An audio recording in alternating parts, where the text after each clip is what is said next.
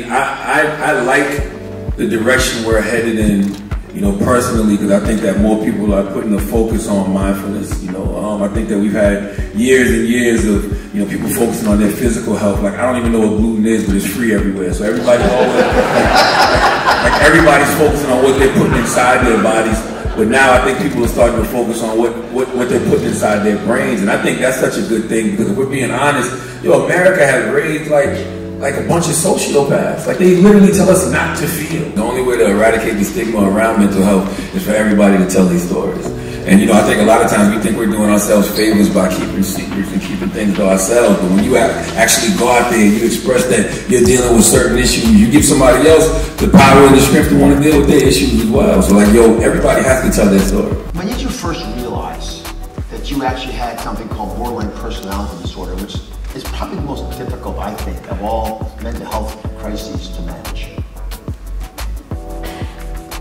Well, first, it wasn't until I was at McLean Hospital in Waltham, Massachusetts, where I got the diagnosis understood what was going on.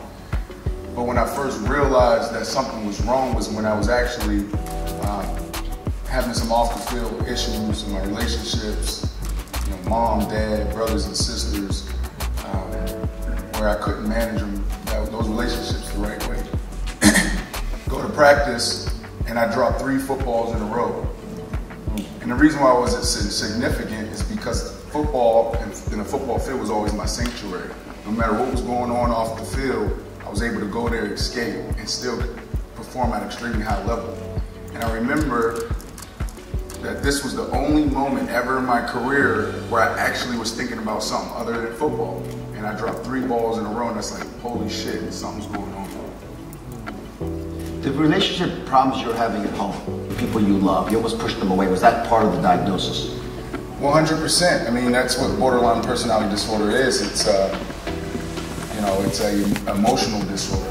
Uh, are you able to cope and manage just common stressors? Are you able uh, to get yourself back down to baseline? Someone who lives with borderline personality disorder, those skills don't come naturally. So you have to go to a McLean hospital and be in mentalization therapy, dialectic behavioral therapy. So I went to rehab at 17 for addiction. I got out and I thought I was all better. Um, when I got elected to Congress, because I had overcome the public stigma of having been an addict, right?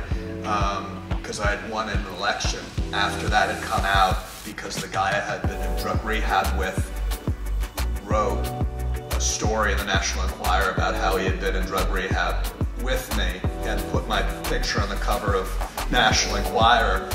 And so that actually, at the moment, was the worst thing in my life because I thought it was going to spell the end of my political career.